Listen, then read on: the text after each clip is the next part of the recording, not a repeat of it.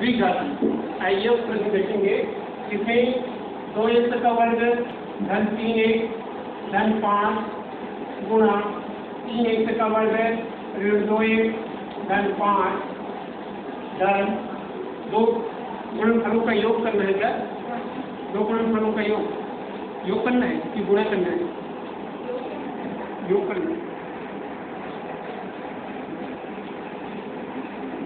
यहाँ चार, धन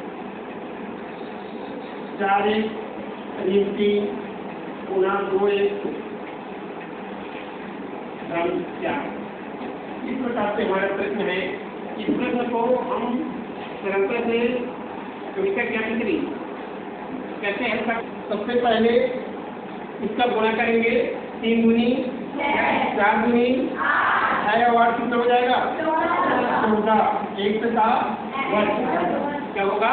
चौदह एक का वर्ग सेकंड बार में क्रॉस मल्टीप्लाई करेंगे। तीन सौ, पाँच गुनी, दस पाँच दस आठ, तीन सौ, पाँच गुनी, दस और बारह, बाईस। चार सौ, सोलह और बाईस, अड़तीस। अड़तीस। से छः घटा देंगे। कितना होगा? बत्तीस। बत्तीस। यहाँ लिखेंगे बत्तीस, एक उसके बाद क्या करते हैं? पाँच सौ बीस में बारह घटा देंगे। होगा? ये हमारा उत्तर हो जाएगा। ठीक है? एक प्रश्न रही थी ना? चलिए, एक आध प्रश्न हम देख लेते हैं। दो एक से धन पाँच, कुड़ी, तीन एक, ऋण तीन धन तीन एक, ऋण चार, कुड़ी, दो एक, धन पाँच। ठीक है? इस प्रकार के प्रश्न है तो कैसे हल करेंगे? दो दिया दो दिया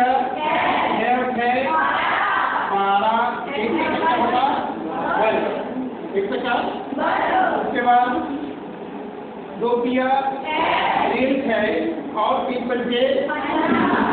घटा दो, तीन पंचे पंद्रह नौ चौबीस दो तो आठ चौबीस में आठ घटा दो सोलह कितना होगा?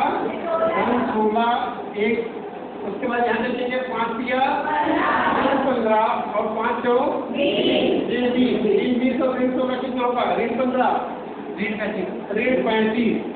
कितना होगा? ऋण पैंतीस। चलिए, चार एक।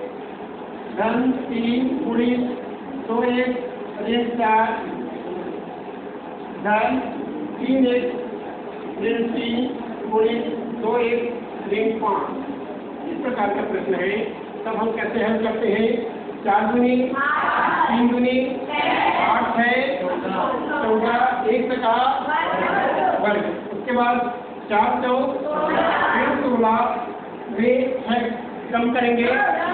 ऋण दस ऋण दस और ऋण पंद्रह ऋण पच्चीस ऋण पच्चीस ऋण पच्चीस और ऋण छः ऋण इक्कीस एक, उसके बाद चार दिया ऋण बारह और धन पंद्रह। कितना हो जाएगा? ऋण बारह, धन पंद्रह मतलब धन बारह कम करो। तीन होगा? ये समझ आ गए तीनों प्रश्न? सबको? जल्दी उतारिए।